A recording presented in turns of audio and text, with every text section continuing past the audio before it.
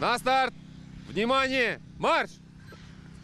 К выполнению задания приступают пожарные 37-й части. Начальник караула Виталий Бриткин, спасатель весьма известный в Нижнекамске. Он проставился на весь город, когда приехал делать предложение своей девушке на пожарной машине. Также ловко вместе с коллегами он справился и с заданием по извлечению раненых из машины. Очень полезно, очень она нам помогает во время дорожно-транспортных происшествий.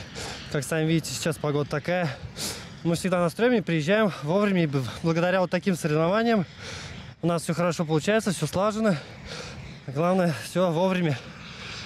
Тяжелый выдох – это показатель трудности, при этом все нужно выполнять на скорости. В реальной ситуации счет пойдет на минуты. Малейшее промедление может привести к непоправимым последствиям. Само же задание делится на несколько частей. Первый этап – разведка, далее оценка состояния раненых и уже потом непосредственно оказание помощи. После этого производится стабилизация автотранспортного средства, срезается крыша, разбиваются стекла, помогаем пострадавшим, оказываем помощь пострадавшим и их, так скажем, выводим из машины, выносим из машины и передаем их медработникам.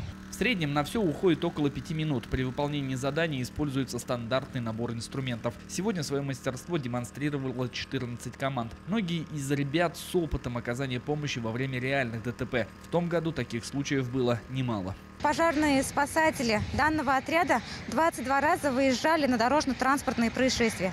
И сегодняшнее соревнование – это отработка профессионализма, чтобы в любое время быть готовым прийти на помощь. Соревнования будут идти 4 дня. По итогам выступления определят лучший караул и лучшую часть. Победители по традиции получат медали, дипломы и, как обещают организаторы, денежную премию. Александр Халин, Александр Лихачев, Новости НТР.